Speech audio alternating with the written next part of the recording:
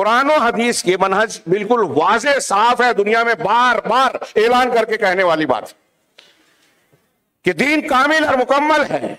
हमें किसी दूसरे हिदायत के लिए, जन्नत के रास्ते पर चलने के लिए, किसी के दिमाग की अकलियत की, जौक की, किसी के ख्वाब की, कश्फ की, राय की, इश्तेहाद की, किसी और मज़हब की, किसी तालीम की कोई ज़रूरत नहीं है। जदीद से जदीद तरक्यात आ जाए। आपको इस्लामी तालीमत सबसे ताज़ा, सबसे फ्रेश और हालात और वक्त के एतबार से सबसे मौजू नज़र आएँगे।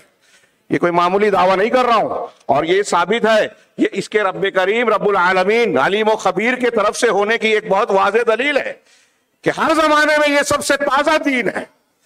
कैसे भी उलट पलट हो जाए, हालात तब्दील हो जाए, आपकी, हमारी, इंसानों की, मर्द और औरतों की, और कितनी भी तरक्की हो जाए, उनकी फितरत, उनकी जरूरियात, उनके तकाजों, ज़िंदगी के तमाम तकाजों की भरपूर तकमील करने वाला ये दीन है।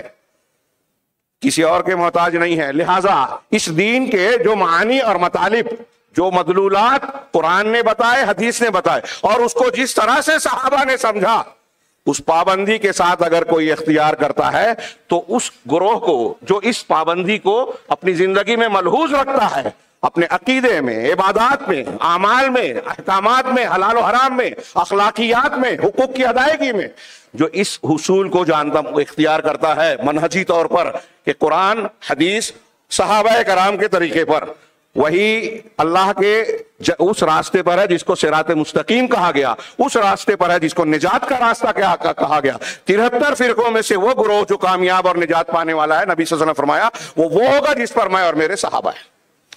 अब ये पूरा दीन है मुकम्मल। अकीदा हमें वहीं से लेना है। इबादत वहीं से लेना है। जो इबादत बताई वही करना है, उतनी ही करना है। जैसे बताया वैसे ही करना है।